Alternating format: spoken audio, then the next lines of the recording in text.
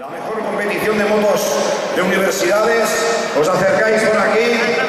Con la moto nos vamos por aquí porque tenemos que hacer una pequeña modificación. Venid,